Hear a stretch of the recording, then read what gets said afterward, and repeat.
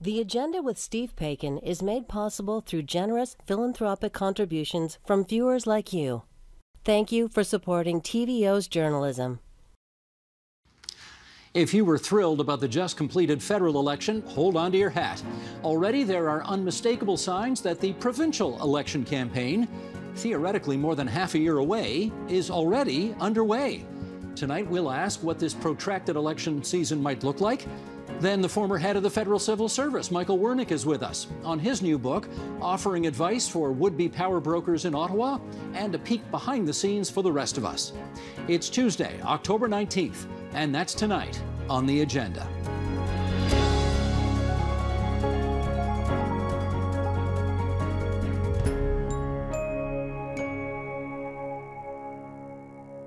The Premier and top ministers are out making big announcements. The other party leaders are too. And of course, the campaign style ads have already begun. In case you hadn't stopped to calculate it, there are still 226 days until Ontario goes to the polls next June. With us now on what to expect in the months ahead, all in the provincial capital, and we'll introduce them in the order of their party standing in the House. Let's welcome, in the downtown core, Ginny Roth, progressive conservative strategist, national practice lead for the government relations firm Crestview Strategy. Kim Wright, NDP strategist and principal at Wright Strategies. In Midtown, Sumi Shan, vice chair of the 2022 Ontario Liberal Party campaign. She was the Liberals' candidate in Scarborough Rouge Park in 2018. And you can't do a show like this without an ink stained wretch. And thankfully, in Dufferin Grove, we've got Rob Ferguson, the Queen's Park reporter for the Toronto Star joining us tonight as well. Great to see everybody. Thanks for coming aboard for uh, our program tonight. Let's start. We're just going to throw it right to the ads. I've been watching a lot of baseball lately, as has Fergie as well. And, uh, you know, one of the things you see a lot of in between innings are ads like this. Sheldon, roll it if you would. I hear it all the time. Politicians are famous for finding reasons to say no. That's not me. I'm Doug Ford, leader of the Ontario PCs, and we're the party saying yes. Yes to more opportunity, bringing more workers into skilled trades. Yes to building highways you can drive on so you don't sit in gridlock. Yes to building homes more families can afford. We're the only party looking to the future, and we're ready to build. Now, that's obviously a, uh, if I can call it this, a feel good ad, not an attack ad. But, Ginny, what's the thinking behind it? I think the thinking uh, is when you think about an election, the goal is to set a frame, right? And in a in a dream world, as a political party, you want the other parties to step into your frame because then they're answering your question, and you're the answer for voters to that question. And I think this job does a really good jo- jo- this ad does a really good job of setting that frame because we're already seeing the attacks on the PCs. So they get attacked for their MZOs, their ministerial orders to um, to allow for new developments. They get attacked for trying to build a highway, Highway 413. Um, and by setting up this ad, he's saying, yeah, you can attack me for that, but I'm the premier that says yes. And I'm on the side of people who want those things, who want more housing, who want highways, who want to be able to get around the province. And so it almost preempts the attacks I think that will be laid against him. And it puts him in the driver's seat to, to drive that message himself uh, and make all of the other leaders in the, in the election campaign step into his um, his territory and, and fight on his terms. So Kim, I, I, think that's what it's trying to accomplish, and I think it does. Right. Kim, the uh, direct inference I suppose we're supposed to draw from this is if Doug Ford is the candidate of yes, that must make Andrea Horwath, the candidate of no. Are you concerned about that portrayal? Oh, absolutely not. And look, I love when people start to say, oh, they're attack ads, they're negative ads. No, they're contrast pieces. And the reality is that how Doug Ford has governed this province has not lived up to the hype. He talks about being the party of yes, uh, but he also is the party of slashing city councils, bigfooting over municipal decision making, uh, not actually building the amount of housing that uh, is frankly needed. And one doesn't need to just look in downtown Toronto, but in every every town and city in this province and there is a massive homelessness problem and there is a mental health problem and we're not getting to it let alone the fact that long-term care uh, you know when I, my father was in long-term care it cost me more than my apartment in downtown toronto did to put him in long-term care every month. And that wasn't a bells and whistles place.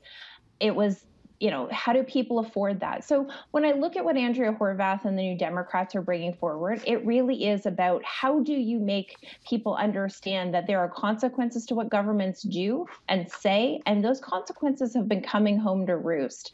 Um, you know, and so Doug can talk about the yes, but it's the question of what is he saying yes to, and who is he saying yes to? Okay, we'll show an NDP spot in just a moment's time. But Sumi, let me get your take on that ad and whether or not you're concerned that, again, if Doug Ford is the candidate of yes, that means he'll try to portray you and your leader, Stephen Del Duca, as the party of no. Well, I think uh, to Kim's point, uh, what is Doug yes for? Is he yes for big box stores versus small businesses? Um, it was a yes for helping support the healthcare system when it was uh, was at the brink of collapse during uh, the recent couple of months. Um, so it's just a matter of like understanding what he is yes for, and what we've known is that he's been yes for repeatedly making mistakes, mishandling files, and and saying yes to to his special interests and holding powers versus supporting uh, you know vulnerable individuals or our education system, or our healthcare system. I think that's important to to contrast. Is that he is yes for his, his being able to hold the power and to be able to uh, support his special interests versus the people of Ontario. Rob, maybe I could get you to explain why seven and a half months before the election is actually supposed to happen, we're starting to see so many ads all over television, radio, online, digital, on your Facebook pages, etc. Why is all this happening now? Yeah, I noticed them uh, all over the football games and baseball on the weekend as well, Steve. And and what we've got here is the new election spending ads or uh, rules. So um, once we get six months out from the election, then people parties cannot do all this advertising in an unfettered manner. Right now, they can kind of spend as much as they want. So they're trying to to get these ads out now to get a head start on on painting the opponents. And I noticed that the NDP is out with ads, the PCs are out with the ads. The Liberals are not yet. Is that presumably because they don't have as much money as the other guys? Uh, they t- I, I believe they're coming, and Stephen Del Duca, the leader, has said there there won't be attack ads. We'll see how long that lasts uh, once we get into the campaign, because this this should be a wild one. Uh, and you know, when when Ford is doing these, uh, uh, I'm I'm the man of yes ads. I just think how much fun we can have with that. All the things he said no to, like some of the, uh, like Sumi and Kim were saying. You know, he's he was no to the the higher minimum wage. He was uh, for a long time no to the to the paid sick days. Uh, you know those kinds of things that I think that ad actually, you know, despite what Ginny said, and I and I get their strategy there, but these these you know I'm the yes man ads do I think leave him open to some criticism that the other parties can can have some fun with, and so can all of us in the press gallery because we, you know, we're looking for answers and we want a yes. we, well, want, we want him to answer. I mean, uh, Ginny, that's not a bad point. The fact is, Doug Ford has said no to a lot of things. Sometimes he eventually gets to yes, but he often starts at no. You concerned about the opposition being able to portray him that way? I, I, think they'll try, but I think that's the beauty of, of setting the narrative is that then people are fighting on your turf. And uh, over the next six months, I mean, it's really not a long time until voters go to the polls in the spring. It's got to happen June or earlier. I could see it happening earlier if we've got a budget that ends up being basically a campaign budget or a campaign document. Uh, and and the party, uh, the PC party, has way more money than the other guys do. Uh, and so they have an ability to reach people and reach them specifically about the commitments um, that the premier will make over the next six months. And there's all sorts of stuff that he's going to want to do that I think ideologically, the, ideologically the NDP and the Liberals won't. So, I mean, Kim made the point about wanting to um, uh, fight with municipalities, but then also wanting to build housing. Well, you have to have a bit of a fight with municipalities in order to build housing because the biggest impediment to housing in the province is municipal zoning restrictions. Uh, I think the premier is willing to have a bit of that fight. He's having it right now in Hamilton, and he knows that uh, public opinion is moving a bit. People finally want him to have that fight. There's a massive housing housing shortage. That's why it was such a big issue in the federal election campaign. And so I think the PCs are looking forward to what people are going to be what's going to be top of mind in May or June when they vote. Uh, and he knows that uh, arguing about what happened two years ago is just not going to be that relevant to voters. Okay, since we're all in such a friendly mood today, we're not going to call these attack ads. We're going to call them, as Kim suggested, contrast ads. And here is the NDP attempting to contrast itself from the current premier. Sheldon, roll it if you would. This guy says he's for the little guy. But when workers need paid sick days, Doug denies them. When local businesses need help, Ford sides with big box stores instead. Doug Ford, here for his buddies, not for you. Kim, what's going on there? Look, it is exactly as it is uh, portrayed. It's pretty simple. You know, you can talk the talk about it's, uh, you know, he's all for the yes and all of these things, but paid sick leave is still a major issue. The lack of a, an agreement on childcare uh, is appalling to me. The fact that uh, you know, we are still finger pointing and still saying this isn't good enough and that's not good enough when people have to, before they even think about getting pregnant, have to sign up for daycare. So, how do we deal with this? And, you know, if you look at, uh, you know, talk to any of the uh, parents of autistic children, uh, they certainly haven't been hearing a whole lot of yes. The fact that there have been promises and then cuts and then cuts and then the comments of things like, eh, just give them an iPad, it'll be fine. That's not governing. Uh, uh, so it, it really does boil down to that. So Andrea is making that contrast of, you know, he's Doug Ford is here for his buddies, not for working families, not for people who are trying to have that better life in Ontario that we all want to see. Uh, and he is certainly no uh, no friend to you know the environment or to actually building housing. You know, ministerial zoning orders are well and swell, uh, but there's a lot of things that could have actually been done, and certainly with wraparound services and mental health support. So we see lots of ribbon cutting and goodness knows we're going to see lots of ribbon cutting over the next six months but it's what's actually being done. Can people actually get mental health supports, addiction supports, the counseling that they need? And especially coming out of this pandemic, people are expecting better because they've had a very different lived experience over the last two years. Sumi, how effective do you think that ad is?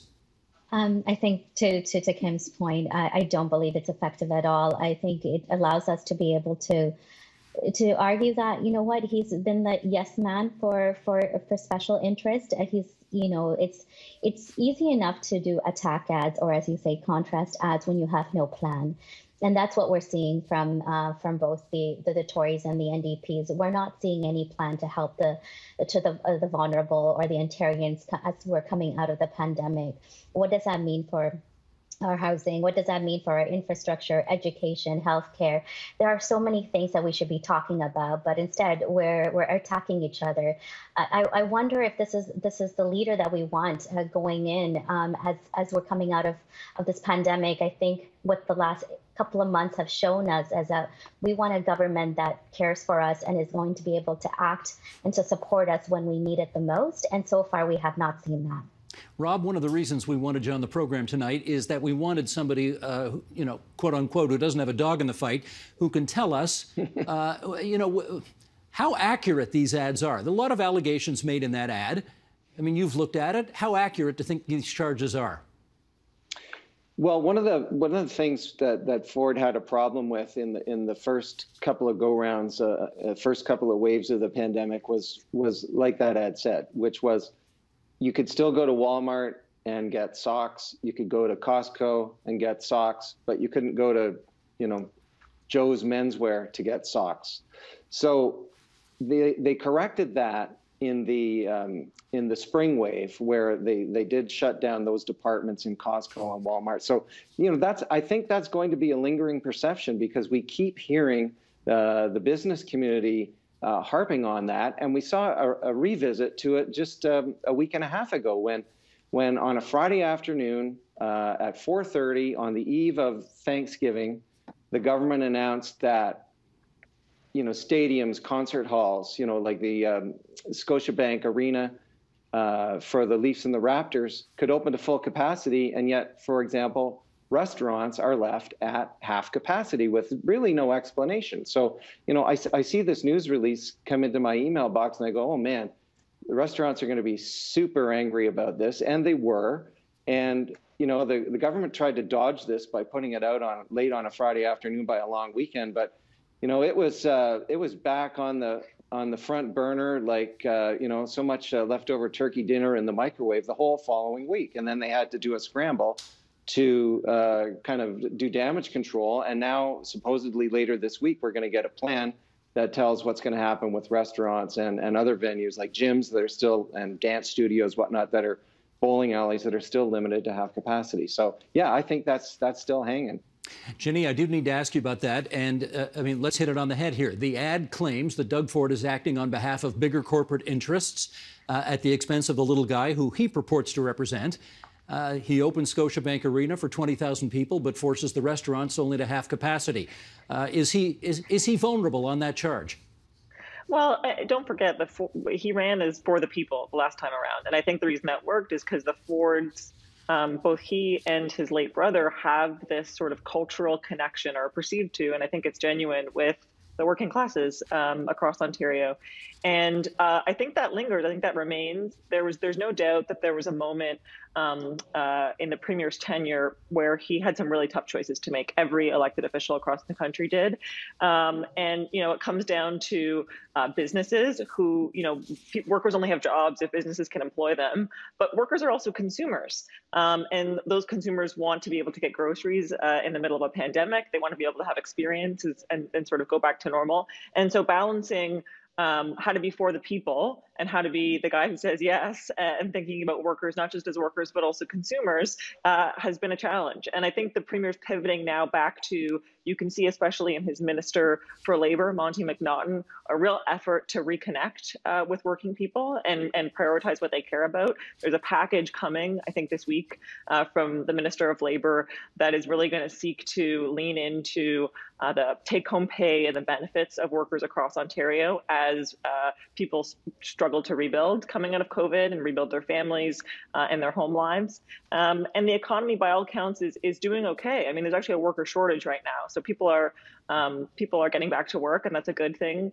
Uh, and I think the premier is gonna is gonna use that minister, Minister McNaughton, to reconnect with with those people and remind them why he's for the people, as he so did so well in the last election. Do you know what the slogan's going to be for the next campaign, incidentally? Well, I, I, think I think the ad uh, that you that you played uh, off the top is, is a good indicator um, that the PCs are the party of yes. I don't know if that'll be the slogan, but uh, it, it, makes sense to me as, as a core narrative campaign. Gotcha.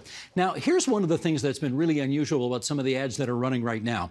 You can understand the NDP taking out ads against Doug Ford. His party's in government. They are the, the big kahuna that the NDP want to take down. But the NDP have also taken ads out against Stephen Del Duca, the Liberal leader. The Liberals have seven seats. They're in third place. Del Duca himself doesn't even have a seat. Let's give you a snippet of that and we'll talk after this. Go ahead, Sheldon. But this guy thinks the job belongs to him. You might not remember his name, but you'll never forget his record as Kathleen Wynne's right hand man, making big cuts and bad choices together, slashing healthcare, and sending your hydro bill through the roof. Now he wants to be premier, to do it all again. Stephen Del Duca, back for power, not for you. Kim, why would the NDP spend money going after third place instead of first place? So I think it's important that people remember what was that record. You you know, sometimes people look back nostalgically and maybe it wasn't so bad with these people. And ultimately, uh, you know, when we start to see where people uh, still are and they're still very concerned about the liberals being much more rhetoric than actual reality. Uh, they certainly cut a lot of things and they didn't live up to the hype of their promises because really they, their hearts were never in into supporting uh, a guaranteed basic income. They were never uh, going to do actual reform on uh, on long term care because they had 15 years and never got it done. So there's lots of people who want to say, "Oh, but wouldn't it be great if we just went back to that those liberal governments?" But the reality was that no, those weren't actually benefiting people. And you know, uh, there's a liberal strategist, Omar Khan, who actually in the dying days of the last election said, "Oh, actually Andrea Horwath is the problem. Doug Ford's going to be great for Ontario. Uh, so, you know, there's lots of things that it's important for people to remember about those 15 years under the Liberal government. And Stephen Del Duca will try to say, but we need to look forward, not back. But he also was not only a, a senior cabinet minister on transportation that frankly wasn't getting delivered, uh, especially around the GTHA, but he was also a backroom hack for 30 years, a strategist for Kathleen Wynne. So it is actually uh, a valid point to say right hand man, the strategist, the guy behind the curtains before he got to be the guy making decisions. And his decision making is questionable at best. so we, we got to do a little fact check here. We got to do a little fact check here. Stephen Del Duca, I think, is 46 years old. So he can't be a backroom hack for 30 years. That would have started him oh. at 16. Oh, he in fact talked the other day about uh, in his speech about how he was starting in campaigns and in politics for 30 years and worked his way up and has been doing the job. Certainly uh, I don't think he called time. himself a backroom hack, though. Oh, I'm certain he would never call himself a backroom hack, but he was certainly on the senior leadership campaigns for the for all of the McGuinty years and prior to that. So yeah, it is actually quite accurate to say Stephen Del Duca has been an architect for the bad campaigns and the bad governing for quite some time. Okay, Sumi, let me get to you on this point, and that is that obviously the NDP and the Conservatives are running the same kind of ads against Del Duca. They're trying to basically frame him before he gets a chance to define who he is himself to the people of Ontario because he's the least well known of all the leaders. And I wonder, you know, this is a tried, tested, and true program that works. Just ask Michael Ignatieff. You guys worried about this? No, I think, you know, uh, uh, what is that saying that um, the worst thing about being talked about is not being talked about at all? And, you know, it shows that both the parties are, are afraid of what the Liberal Party stands for, what our, our leader and our team is, will be able to, to, to do for Ontario. We've done a lot um, in, in the past, and, you know, I, I think uh, Ginny mentioned it. Not all leaders get it right, you know, all the time. But you know, for the most part, well, what the Ontario Liberal Party has done for for Ontario and its citizens, I think, can certainly hold to test uh, in comparison to the NDP, who have had a leader for 15 years, hasn't like recently only in the last election has squeezed into into opposition, uh, and that was because you know the uh, Ontario Liberal Party, uh, unfortunately, um, wasn't able to, uh, to to to make government or opposition. So it, it really shows are they able to to to be able to make the next government and be able to support Ontario? I don't think so. I think Stephen Del Duca, uh, as a leader, knows the people of Ontario, has supported um, government, and we've we've done a lot over the last uh, years when it comes to coming out of the recessions. Uh, you know, pulling back all of the the decimation from the Harris days. Uh, you know, it took a long time to be able to get back Ontario on a good footing. We gave Ontario on a good footing to the Tories, and you know what happened. We've we've lagged behind when it comes to healthcare, to education. Where we are the party that's moving forward, and, and and attack ads and and all of this is just shows of desperations. They don't have a plan, therefore they're looking to attack uh, to our party leader, and I just think that shows you exactly who they are. Ginny, I guess I'd ask you the same kind of question I asked Kim, uh, because you guys are running the same kind of ads uh, trying to tie Stephen Del Duca to Kathleen Wynne. And I guess the question is do you think it's still good politics in 2021, 2022 to keep bringing Kathleen Wynne's name up, given that she's not going to be on the ballot in the next election? Well, the last election wasn't that long ago. I mean, I think Sumi said um, that that they gave on, Ontario to the PCs in great shape. Well, they didn't give the Ontario to the PCs. Uh, Ontarians were very clear that they were done with the Liberals uh, a few years ago, and they, it wasn't. You know, things were not uh, in good stead. I mean, energy prices were out of control. People couldn't afford their hydro bills. Uh, they were fed up with um, with all sorts of uh, things about you know after a decade of Liberal government. Uh, they were sick of it. Now, the liberal brand, I think, I think part of why you see these attacks on Del Duca is because the liberal brand um, isn't as weak. Uh, the liberal brand federally is obviously quite strong in Ontario still, um, and, you know, people as a centrist party, the Liberals, I think, can benefit from that. But one of the worst jobs in politics is being leader of the opposition. I think it's even worse to be leader of the third party because it's really hard to get attention. Uh, Fergie and his gallery, you know, make their best effort, but it's really hard to cut through on provincial politics in the Canadian news. And as a third party leader, it's really, really hard to get attention. And so what happens is voters don't pay attention to you or notice you until uh, the writ period, until those days of an election campaign. And um, you know, the Del Duca team is going to want to make sure that he is popular when he's finally turned to. And uh, if the NDP and the PCs keep hammering him uh, and his brand and tying him to Wynne, who we know is very unpopular um, over these next six months, I don't think that bodes well for how Ontarians will view him when they finally start paying attention. Well, okay, again, Rob, we need you here for Truth in Advertising. Mm-hmm. Both of the ads by the NDP and the Progressive Conservatives uh, are calling Stephen Del Duca Kathleen Wynne's former right hand man. Is that true? Mm-hmm. Uh, no, I kind of laugh at that because I think that's uh, quite a bit of flattery, maybe uh, unintended flattery for Stephen Del Duca. He was mostly transportation minister during that time. He wasn't that that big a figure, uh, so they're they're they're trying to, you know, pump him up uh, for for their own purposes. There, I'm not sure how well that's going to go because people might be saying, well, I, I don't even know really who Stephen Del Duca is. So how could he have been Kathleen Wynne's right hand man? I want to now have a little bit of a discussion about something Premier Ford said last week, which I've kind of never heard a politician say before. The Premier said, quote, the worst place you can give your money is to the government. It doesn't matter if it's municipal, provincial, or federal. Ginny, how should we interpret that?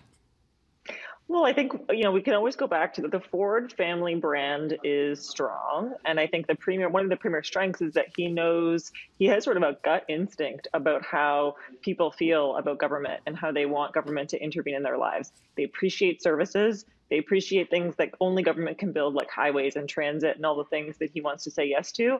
But at the end of the day, they don't want to be taxed into oblivion. I mean, his brother learned this by talking about the gravy train um, at the city of Toronto, and I think that remains.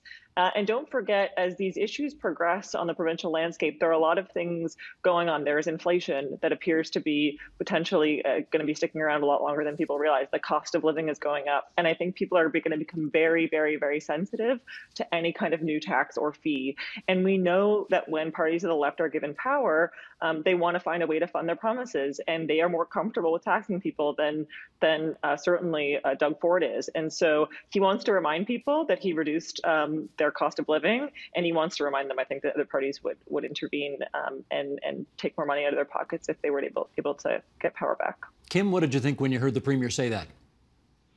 That he still fundamentally doesn't understand the value of government and the value of supporting Ontarians. Uh, look, this is a big province. It takes a lot of money to run, but there's also a lot of uh, situations that are can be can be recalibrated. Certainly, healthcare can be recalibrated, but it has to be recalibrated in a way where people actually can access services.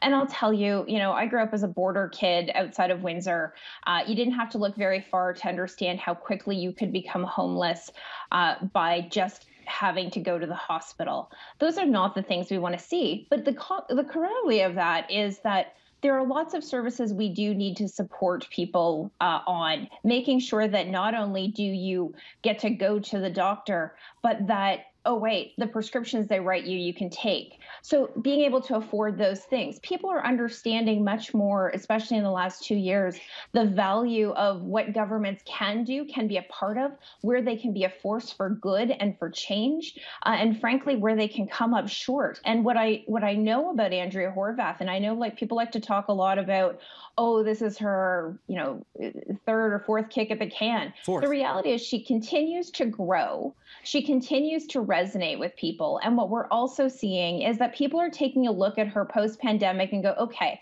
I now get the, where the value of government governments are, where we can support our communities. And they're looking at her as potential premier, not just that steel town scrapper that we know and love, but what can she do? What can she bring to the table? And what's the team around her that can really make Ontario better. So, look, uh, I I know Steve, you're a fan of Bill Davis and some and and also of Sean Conway. Sometimes people hanging around for a while actually does benefit uh, the people that uh, we are serving. It is public service, and that's what I see from the Horwath campaign. And my goodness, I've never seen as much of a fire in her belly in the entire time that I have known her that I've seen in the last year with her.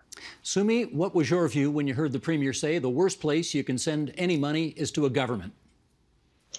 Well, I think it's it's missing the point that you know I think people are suffering. Ontarians are, are are struggling. And we need a government that is able to understand that and to be able to support the uh, support our ontarians whether it's providing living wages uh, you know to, to keep up with inflation or or restructuring our healthcare system to, to support all of the long-term long-term care or um, you know ensuring that we've got the, the right infrastructure for edu- for our education system when with with um, students going back into schools with the pandemic. Uh, you know, we're looking for a government that understands and is empathetic, and that's, I think, what you'll get from the Ontario Liberal Party and its leader and its team. Um, you know, we're looking at uh, $10 a day childcare and understanding that the impact of childcare has on our, our working class families. Uh, you, know, a four day work week, we've understood what the pandemic has, has meant for, for um, Ontarians. Over 130,000, um, you know, uh, employees in Ontario have chosen family over work, and that we need to ensure that our working systems are able to uh, to recalibrate itself to understand the new normal. And we need a we need a government and a, and a leader that understands that you know just keeping the, the, the money in the bank is not all. We it's government is meant to support our Ontarians to ensure that they have the right services and infrastructure to be able to move forward with their lives. And we need, and in order to do that, we need to be able to fund it. Rob, you've covered politics for uh, a couple, two, three years. You ever heard a, a premier before say the worst place you can send your money is to a government? I've never heard that, and I always thought the best place to send your money was to subscribe to the Star or donate to TVO. uh, um, uh, I, I, know that that's kind of an odd thing for him to say. I think at this time when, uh, as uh, I think Kim was mentioning, or maybe it was Sumi, that, that you know we've learned the value of government in this pandemic, and in fact, you know, uh, before the pandemic hit, uh, the PCs were going to cut back on, on on public health and had to reverse that. So you know, here we are, and I think in the election in the spring, people are going to be looking for who, who do they think uh, is is best placed to to uh, lead Ontario out of this, and and you know, paint a new vision for what the province can be post pandemic. Hopefully, you know, we don't get a new variant that's evasive of vaccines, and hopefully, we're out of this you know elastic waistband work at home phase uh, by the time the election rolls around next June. Ginny, I'm down to my last couple of minutes, and I, I just want to try this one more time because uh, I appreciate that the Premier has this keep taxes as low as possible brand that he needs to burnish. I get that. But I wonder whether the comment displayed a kind of an ignorance about the fact that if people don't send any money to the Treasury, hospitals don't stay open, roads don't get paved, subways don't get built. I mean, et cetera. PPE doesn't get purchased, et cetera, et cetera, et cetera. Do, do you think he understands that? Well, I, I think it would be impossible for a premier who's invested billions. I mean, uh, we can talk about the size of the deficit, and I'm not I'm not bragging about the size of the, de- the deficit or the government's debt, uh, of course, but to think that somehow um, this commentary means that this is an austerity premier, an austerity government, I think flies in the face of the massive amounts of investments uh, that they've made into healthcare, especially, uh, but government services across the board these last number of years. This is not um, an ideological premier. He is not an ideological conservative who wants to slash and burn. In fact, he's invested billions as a government uh, across the board. But he is a sort of grassroots populist guy at the end of the day. And he knows how the average voter feels, which is yes, I want my health care, I want childcare, I want a strong education system, all of those things. And I think the government will prioritize those things going into the election. But they also do, they also need to be able to afford to live. And the cost of living is going up. And the last thing they want is a new fee or a new tax. They don't care what level of government it comes from. They just know they can't afford it. They can't afford hydro rates um, uh, when, when they need to heat their homes. They can't afford the cost of groceries going up. Um, they can't afford any of it. And and for them, I don't think they care um, where they're where they're spending their money. If it means if there's a new cost uh, to their lives that's going to make things more expensive, it, it to, to, Kim's point, it might make the difference between um, uh, uh, being in poverty or being out of it. And so I think uh, in those moments the premier is connecting with people in a way that a lot of politicians aren't able to do. Our thanks to Ginny Roth, Kim Wright, Sumi Shan, and Rob Ferguson for joining us on TVO tonight. To be continued, friends. Thanks so much. Thank you. Thank you.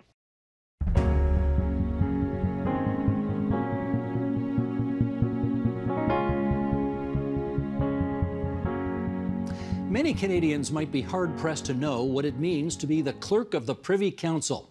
Well, Michael Wernick had that job, and his new book does much more than explain that the clerk is the top job in the federal civil service. The book is called Governing Canada A Guide to the Tradecraft of Politics. Michael Wernick spent almost four decades in Canada's public service, working at the highest levels with three different prime ministers, and he joins us now from the nation's capital for this insider's view. Michael Wernick, it's good to have you on TVO tonight. How are you doing? Thanks for inviting me. Not at all. How would you characterize, let's start very generally here, how would you characterize what the role of a prime minister ideally should be? Well, uh, as I go through um, in the book um, a, a, little bit of what prime ministers do all day and what ministers do all day, um, I, I, do unpack that a little bit. So I don't want to give away everything that's in the book, Steve. But um, it's a job that involves wearing several hats. Uh, the one that I focus on the most is chairing cabinet. Um, you are the prime, you're the first minister, uh, it's your cabinet, and driving the process of cabinet to take decisions um, on behalf of all of us uh, is really one of the, the, the, things that I focus on. But there are other aspects to being the prime minister. You're first minister in the federation, dealing with premiers and other levels of government. You're the head of uh, government for Canada, and a lot of a prime minister's time is involved in international relationships with other leaders and international organizations you're the chair of your caucus, and uh, what prime ministers often do is uh, tend to their team. Uh, they have 100 or more MPs, and uh, there's a lot of caucus relations and bringing that team along and developing it. Um, so, you know, there, there, are different aspects to being a prime minister. Um, you're, you're overextended from the, the day you start to the day you leave, and uh, the mindful management of your time is, is really one of the key skills. I want to follow up on one word that you just used there that I note over the years political people use, but if I can use this expression, don't take it the wrong way, but normal people don't talk this way. You said politicians, or the Prime Minister in particular, takes a decision as opposed to makes a decision, which is, I think, what the rest of us do. Why is there that distinction in politics? Uh, it's just Ottawa vocabulary that I've been steeped in. I'm, I'm not, it may be a distinction without a difference. Um, but um, I mean, I think it does go to the point that uh, the purpose of governing is to make or take decisions on our behalf. Uh, these are the people, 38 million of us, and we give about 35 of them uh, in cabinet and about uh, 338 of them in parliament a mandate to decide on uh, legislation, policies, regulations, negotiations, and so on. And uh, it's not there to be a campus debating club uh, um, or somebody's perfect uh, model of, of government. It's there to take decisions and advance the country. Okay, let me get back on the path here. And that is, again, based on your experience, ideally, do we want a prime minister who sort of rolls up their sleeves and runs departments and really has the hand on the tiller? Or is it preferable to have a prime minister who is more kind of a mouthpiece for the government and sort of conveys an impression of the kind of government he or she wants to run? Well, I think the government, the, the face of the government is always the prime minister. It is the focal point of accountability and question period. It's the one recognizable name for most voters. Uh, you are the brand, the reputation, the image, and the most effective spokesperson for the government. And that's a lot of what prime ministers have to be good at what I try to shed light on in the book is that uh, apart from those two minute clips on question period that you might see on the news every night, prime ministers are very busy doing other things. And uh, you know, moving things through cabinet government is uh, one of the important ones. It, it takes place away from the cameras, away from the spotlight, uh, but it's fundamentally important to our democracy. One of the things you wrote that surprised me a little bit was that you said prime ministers ought to be feared from time to time by their cabinet ministers. How come? I think that's probably true of corporate CEOs and the heads of law firms and so on. Is that you? Uh, I think uh, to to move a team along, uh, you want to feel that there are consequences for underperformance or poor behavior, um, and that there will be sanctions. So um, I think it's important to be liked and respected, and you know to run a team effectively but I think uh, you want other people to worry a little bit about what you think about them. How common a phenomenon is it that the longer a prime minister is in office, the more he or she surrounds him or herself with sycophants and or yes people who tell them what they want to hear as opposed to what they need to hear? I think it's a risk um, that you you're in a comfort zone of people that you trust and you're used to working with. And there will, what I say in the book is that your default will be to stay with the same circle, probably longer than you should. But um, you and I know some of the political history, and previous prime ministers have made substantial changes. Uh, prime Minister Harper went through several chiefs of staff and uh, many, many members of his inner team. Uh, certainly, uh, Brian Mulroney did. He didn't. Uh, he didn't finish with the staff that he started with, Pierre Trudeau, and so on. So, uh, I think uh, what, what, I, what I suggest is that once in a while you pause and take a look at um, both um, the processes that you're using and the people that you're working with, and just mindfully think about it from time to time. Uh, because each mandate is going to present uh, new challenges in a new context. The late, great Bill Davis used to say, and in fact, he told this to Brian Mulroney when Mr. Mulroney was in deep trouble. He said, The people who get you there are not the people who will keep you there. You find that to be the case? Well, I certainly make the distinction that the people that are good at winning elections are not necessarily going to transfer in and be um, as effective at governing. Uh, there are people who are uh, very good at the business of elections. Um, some of them come into government and, and find themselves in the prime minister's office or the offices of cabinet ministers. A lot of them do take to governing, um, but some of them don't. So it's, it's uh, I, I do want to draw a line between the skill set of winning elections, which I know nothing about, and the skill set of governing and, and getting decisions on behalf of the country. Okay, let me put you in a really squeamish position right now, which is to say the current prime minister has had the same chief of staff since day one, and he's now in year six. Should he be thinking about changing that position? He should be thinking about what team he wants to use in his third mandate, and that, and that goes all the way through the team. Does that mean he should change Katie Telford? I, that's really up to the prime minister. Yes, it is. All right, let's talk about politics and partisanship here. And I want to ask you about, and I know you get asked this all the time, about the uh, independence of the civil service. Because, of course, uh, there was that moment in 2015 when Justin Trudeau first became prime minister and he went to the um, Foreign Affairs building, the Pearson building, and I mean, he got rock star treatment from public servants who are supposedly neutral. They cheered for him, they hugged him, they did selfies with him, and all that kind of thing. How concerned were you that that kind of situation confirms what too many people already believe, which is that public servants prefer to have the liberals in and the conservatives out? Uh, I found that those scenes really unfortunate and, and, dismaying. I know where they came from. It came from the tone more than anything of the last few years of the previous government, more than the substance. Um, and the tone that ministers and their offices project to the public service has an impact on, on people's morale and energy and, and dedication. That doesn't make them partisan. Um, I've worked uh, about equally for Team Red and Team Blue. And, uh, you know, public servants come in um, and work really hard to deliver services and programs that the government of the day has a mandate for. Uh, and it was important that, um, and it remains important that uh, when there is a change of government, that uh, you know the incoming group feels that the public service is there to give them advice and support and help them uh, deliver the mandate that they put to Canadians. And so, uh, I was very pleased in 2015 that we went from uh, Team Blue to Team Red in 16 calendar days with very little loss of traction. Let me ask you about the things that get governments into trouble. And uh, you, having been there uh, in the public service for nearly four decades, uh, would have seen the kind of thing that trips politicians up. What does it tend to be? Behavior. Um, it's usually not a policy issue. It's not, uh, you know, bringing in some unpopular program or law or, or policy. That certainly can happen. Uh, and it's not always, um, you know, scandal. It's it's just a question of projecting uh, being out of touch, projecting being careless with public money uh, is particularly, uh, you know, corrosive. Um, you know, any kind of sort of being arrogant or feeling entitled to the job uh, can be uh, be a problem. But um, and we've obviously seen, and, and, this is not just in politics, but in in, in, in other sectors uh, behavior, like you know, personal conduct, harassment, bullying uh, in the workplace, the way you get along with other people is really important. So um, it's basically uh, you know a profession of people, and uh, what I've seen over the years in terms of you know which careers flourish and which ones don't, it's almost always about uh, behavior.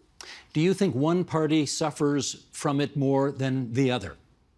No, I think the only real difference between parties is, you know, from my perspective, is the ones that are in and the ones that are out. Um, uh, being in government brings with it certain, you know, constraints and temptations, and uh, being in opposition does too. And, and that, that's really the fundamental difference. Bob Rae said that to me once. He said, we, we really overdo the analysis when we talk about liberals versus conservatives. It's really ins versus outs. The outs want to get in, the ins want to stay in, and that really motivates everything. You think there's something to that?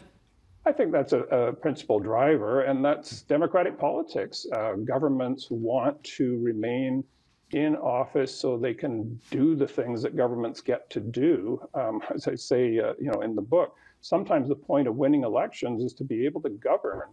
Uh, you know, and if you get to govern two or three mandates, you bend the curve of history. Um, I, a lot of the media coverage focuses on whether a particular law or policy decision is popular or will bring you up or down in the polls and win the next election. But from my point of view, the point of winning elections is to be able to govern. Let me pull a quote from the book here. You wrote, Any whiff of it, criminality in government, is very exciting and is likely to generate a frenzy. You say you can't make use of a government aircraft or a, char- a chartered aircraft without bringing down scorn or theatrical outrage. Is it your belief that government watchdogs and journalists often overhype or, I, I guess, sex up scandals that are really non events at the end of the day? No, I think uh, I want to be really well understood on this. A vigilant uh, media and press and opposition and the, the institutional watchdogs, of, you know, as, as we call them, are really important to effective government. Uh, they shed a light on on things and uh, force governments of, of all stripes to to strive to do better. So we as Canadians are well served, uh, you know, by having that accountability and feedback loop. The point I was trying to make is that um, Canada is actually uh, very well governed. Uh, if you look at any international index of transparency or corruption or uh, effectiveness on, on all kinds of scales, I'd be happy to recite them for you. Canada has a very strong public sector, both at the federal and the provincial and municipal levels.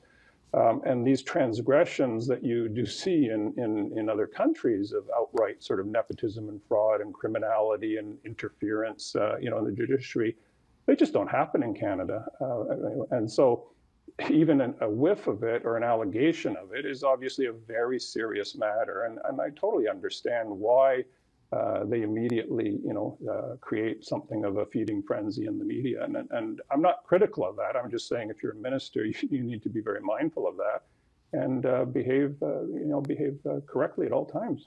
Now, what you just said is an empirically provable fact. If you go to Transparency International, you will find Canada very high up on the list.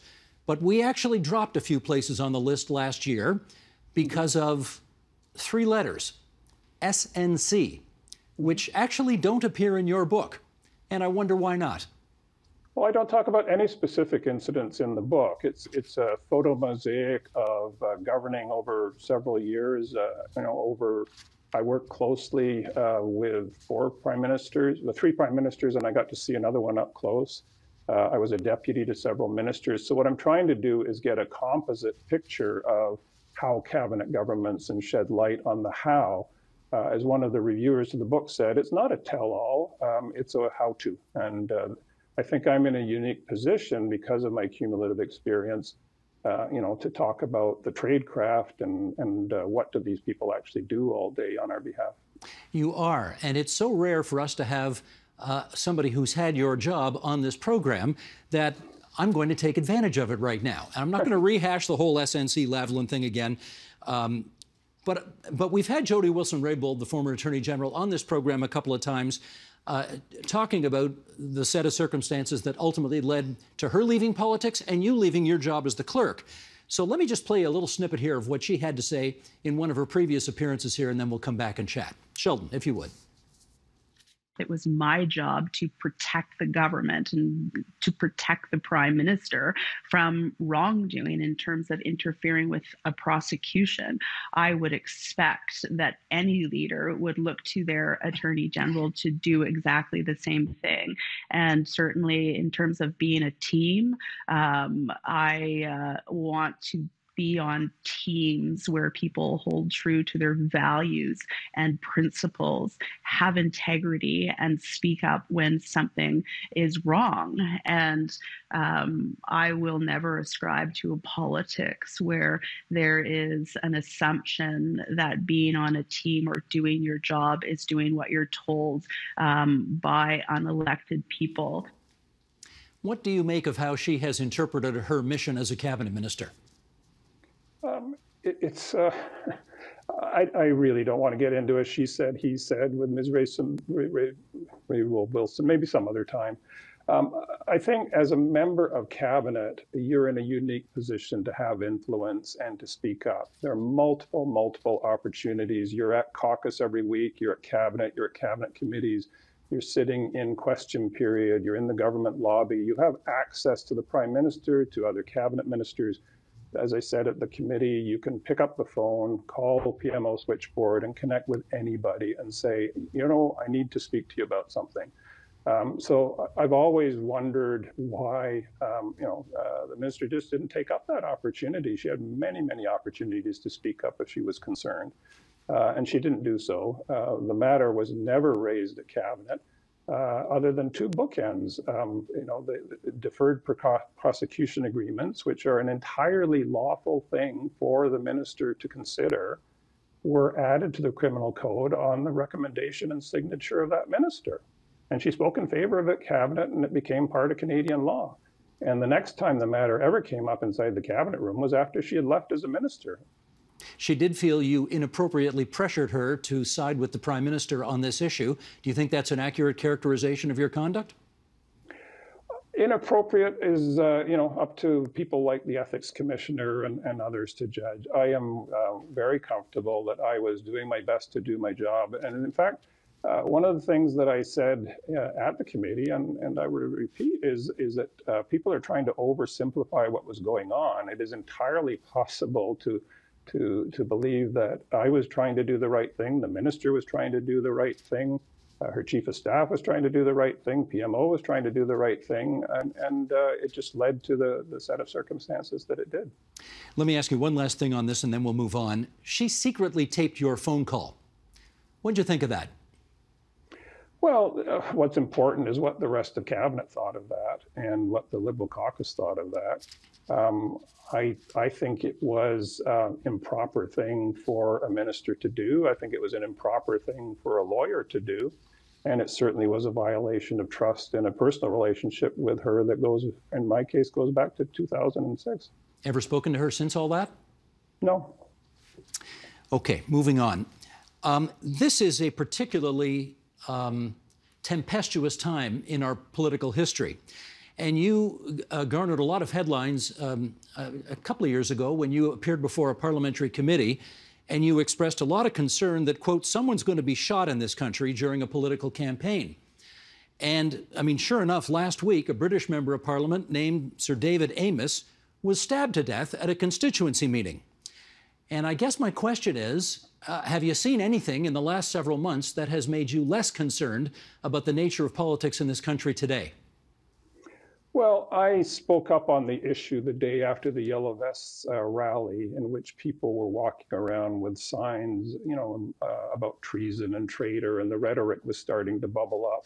And we'd seen what had happened in France with the Yellow Vests and so on. So and I had access at the time to intelligence and police reports, and uh, I knew what uh, you know what was happening. Uh, I knew some of the abuse, uh, the vile things that were being sent to ministers, particularly the women and people of color, to political staffers. You know, videos on how to commit suicide. You know, racist, homophobic, and misogynist sort of uh, stuff. And the theory at the time was, well, let's not talk about it because it'll just encourage copy copycats. And I just felt, uh, you know, I, I needed to call it out at the time. Um, you know, since I left, I don't have access to that flow of information. I've talked to a few politicians. Um, they have spoken up on it, and uh, it's spread, uh, you know, to to, uh, to people in, in in other parties. It happens in other countries. So uh, what I talk about in the book is um, there will be a price for this in the sense that um, I would think twice about coming into public life, uh, you know, because of this, and and certainly getting people to stay uh, in public life. Um, so you know, over the course of years, uh, there's going to be adverse selection, and uh, that's that's not going to be good for our democracy. When in the last federal election campaign, you saw somebody pitch a handful of gravel at the prime minister when he was on the hustings. Uh, what went through your mind at that moment? I was thinking that the you know the personal protection detail uh, would be extremely concerned because if you can reach somebody with gravel, you can reach them with other things. And uh, I think that the, uh, not just the prime minister, but ministers and as we're learning, constituency MPs are um, putting themselves in harm's way. it's just a reality that uh, you know uh, people are going to have to be very concerned about physical security of, of premises and buildings and vehicles and, and uh, mindful of this um, uh, you know going forward um, what people see less of is is the vile things that happen on, uh, in cyberspace and the kind of uh, just outrated hate speech and abuse and bullying that goes on every single day well let's finish up on this do you think simply by doing their jobs the way that they think they need to do their jobs, and obviously that involves a great deal of interaction with the public. Do you think our politicians are putting themselves in needless danger? I wouldn't say needless. I think it just is now part of the compact of, uh, of going into public life. And uh, just to be smart about it, uh, you do get briefings on personal safety and security. This happens in private sector and diplomats and people that go into other jobs. Uh, I just think um, uh, is something, uh, you know, my advice to, to a new minister is listen carefully to the security briefings and take them seriously. And just finally, for you, is there life after being the clerk? Of course. uh, like like uh, all Canadians, uh, life was disrupted by a global pandemic. Um, but um, i have been doing some teaching, some writing, some consulting, and trying to pass on some of that experience and I hope the book is is an effective way. I wrote it mostly for uh, students of political science and uh, public management, uh, politics courses, uh, and they keep growing new ones. So hopefully the book will have a bit of a bit of a shelf life. But uh, anybody who uh, wants to take a bit of interest in how our unique variant of democracy works, and it's not exactly like the states or not exactly like the British television series I wanted to get across a bit of the, you know, the Canadian variant of democracy and uh, how it works and uh, what what those people that we choose uh, that will be sworn in, uh, I gather next week, uh, you know, will be doing for the next few years. And we are happy to remind people that it's called Governing Canada: A Guide to the Tradecraft of Politics, and it's brought Michael Wernick to our studio virtually from the nation's capital. Michael Wernick, thanks for joining us tonight on TVO. Thanks, thanks, Steve, and thank you for your interest.